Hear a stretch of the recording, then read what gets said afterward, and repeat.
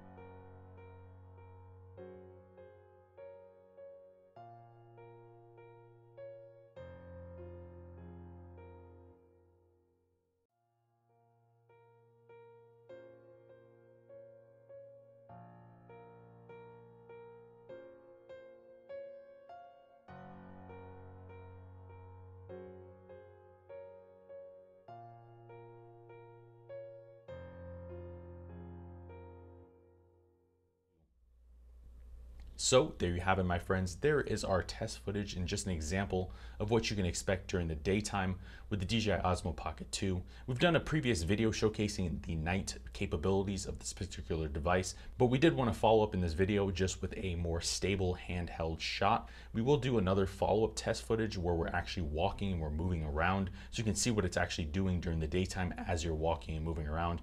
so you have more examples of what to expect from this particular product. But if you have any comments, questions, or concerns, or feel like I've overlooked something over the course of this video, please let me know in the description box down below. Also, while you're down in the description box down below, we've launched a new brand called pxpresets.com. PX Presets is going to be your next one and only stop for Lightroom presets until we launch Photoshop and other platform presets. But here you can find both desktop and mobile presets to get you started in a variety of different mediums more powerfully and upgrade your imaging and take your images to the next level. That link to pxpresets.com will be in the description box down below. Please check that out if you're in the market for some exciting Lightroom presets. But until next time, my friends, I've been your host, Devaun Lennox. We'll see you in the next video.